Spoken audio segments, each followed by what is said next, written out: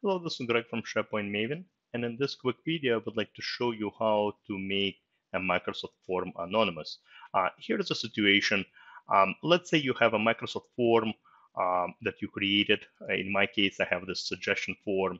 Uh, of course, you could create uh, with whatever questions you want to create. In my case, it's just one simple uh, question. And I want to make sure that uh, when users fill them out, their name is not recorded. All right. Uh, essentially, uh, we don't want to know who submitted that particular suggestion, um, you know, um, or provided some input due to confidentiality reasons. All right.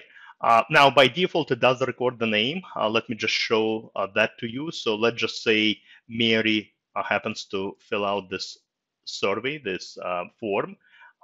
so here is Mary's idea. All right, perfect. So Mary just submitted. I'm logged in as Mary here, by the way. All right, so um, if I go to my responses, all right, and if I extract that information to Excel, all right, let me show you. Uh, what I will see is that, you know, essentially it will extract all the information to Excel, but I will see who submitted their email, their name, and essentially we do not want those recorded. All right, it has to be anonymous. All right, so let me show you how to achieve that. Uh, pretty easy.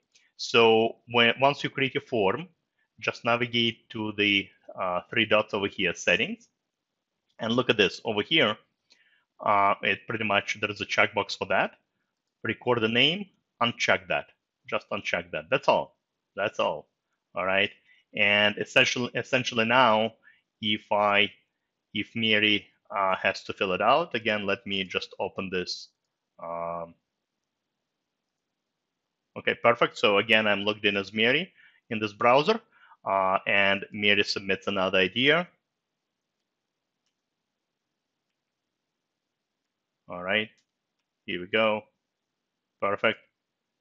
All right, let's see what happens on the responses side of things. Here we go. Here is uh, my second response just came in. If I extract that information to Excel, we should not have uh, we should not have any information associated. Look at this. Here we go. Exactly what happened. You see, essentially it even tells you it's an anonymous entry. Uh, you do see the entry, the timestamp and everything, right?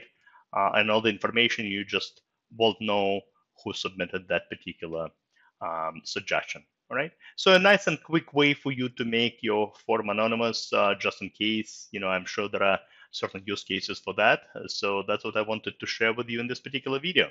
Hopefully you learned a new trick today. As always, happy to see you on my blog, sharepointmaven.com, as well as my YouTube channel. Thank you very much. Have a great rest of the day. Goodbye.